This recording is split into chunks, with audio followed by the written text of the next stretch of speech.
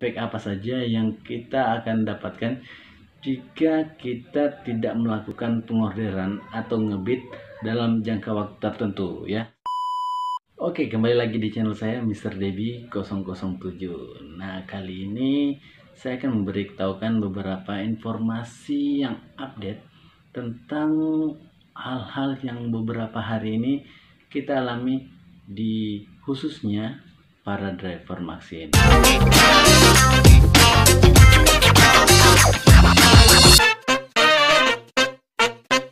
Kali ini kita akan bahas tentang apa saja yang membuat akun kita bisa terblokir dan apa saja efek dari jika kita tidak melakukan pengorderan atau tidak melakukan ngebit dalam jangka waktu tertentu dan apa efeknya terhadap akun kita. Jadi kali ini kita akan membahas dua materi itu. Jadi buat kalian yang baru bergabung dengan channel saya, bantu dulu saya untuk subscribe, like, comment, and share video ini agar bisa memberi semangat kepada saya memberitahukan informasi-informasi khususnya tentang Maxim. Jadi langsung saja kita melihat bagaimana kedua materi ini kita kupas tuntas. Jadi tetap di channel saya Mr. Levi 007.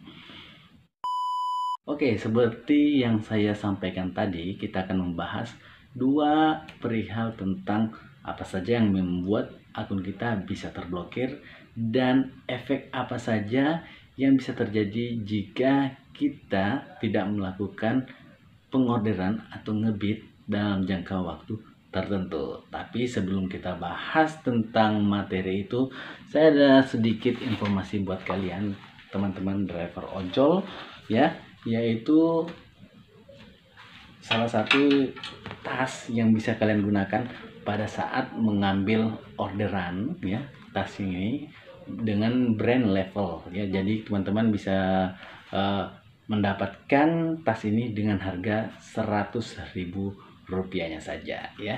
Jadi tas ini cukup uh, keren. Kalau menurut saya cukup cukup keren karena uh, modelnya yang cukup uh, simple dan cukup memudahkan serta melindungi dada teman-teman pada saat berkendara. Jadi pastikan kalian untuk memesan tas dada ini di kolom deskripsi yang akan saya cantumkan Oke, membahas tentang dua poin yang saya sampaikan tadi. Pertama adalah apa saja yang membuat akun kita bisa terblokir. Ada beberapa dan banyak hal yang bisa membuat akun kita terblokir. Di antaranya yaitu pertama, dikarenakan kita telah melakukan kesalahan hingga tiga kali sehingga uh, pihak kantor pusat akan memberikan teguran dalam bentuk pemblokiran akun kita. Yang kedua adalah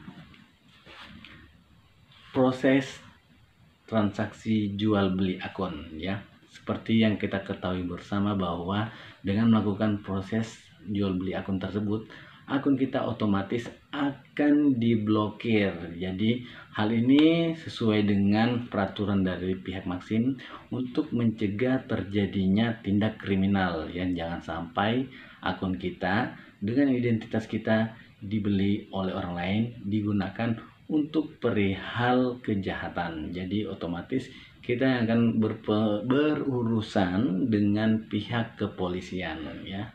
Dan masih ada lagi beberapa penyebab sehingga akun itu bisa terblokir dengan sendirinya. Poin yang kedua adalah kita membahas apabila efek ya efek apa saja yang kita akan dapatkan jika kita tidak melakukan pengorderan atau ngebit dalam jangka waktu tertentu ya? Seperti yang saya komunikasikan dengan pihak Maxim di sini yaitu jika kita tidak melakukan orderan atau melakukan ngebit dalam jangka waktu 2 hingga 3 bulan akun kita itu tidak akan terblokir ya? Akun kita tersebut tidak akan terblokir namun ratingnya akan hilang teman-teman ya. Jadi rating kita akan menjadi seperti semula pada awal di mana kita belum mendapatkan rating. Jadi jika kita uh, tidak melakukan orderan atau ngebit dalam jangka waktu 2 hingga 3 bulan tersebut rating kita akan kembali menjadi nol ya di mana kita diwajibkan untuk melakukan pengorderan hingga 30 30 orderan agar bisa mendapatkan lagi rating yang telah kita uh, hilang atau tidak ada di akun kita. Jadi uh, efeknya itu uh, akun tersebut masih memang masih prioritas ya memang masih prioritas. Namun rata-ratanya atau uh, rating ya mohon maaf atau rating itu sudah hilang. Jadi untuk mendapatkan rating kita kembali kita diharuskan mendapatkan 30 orderan lagi sehingga rating kita akan muncul kembali di akun kita. Namun jangan khawatir akun kita akan tetap prioritas. Jadi buat teman-teman mungkin yang agak kaget mungkin sekitar dua bulan atau tiga bulan tidak melakukan orderan tiba-tiba ratingnya hilang itu jangan khawatir. Akun kita tetap prioritas. Namun rating kita akan menjadi nol dan pelanggaran semua menjadi nol sehingga kita diwajibkan untuk mencari orderan sebanyak 30 kali orderan kurang lebih 30 orderan untuk mendapatkan kembali rating yang telah hilang tersebut.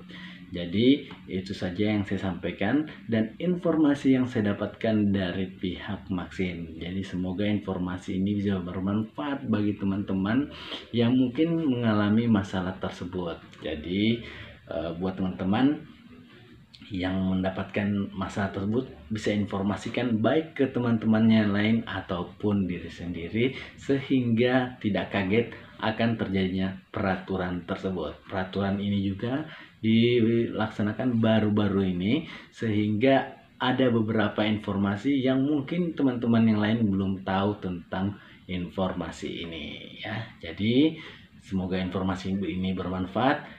Tetap di channel saya Mr. Debbie 007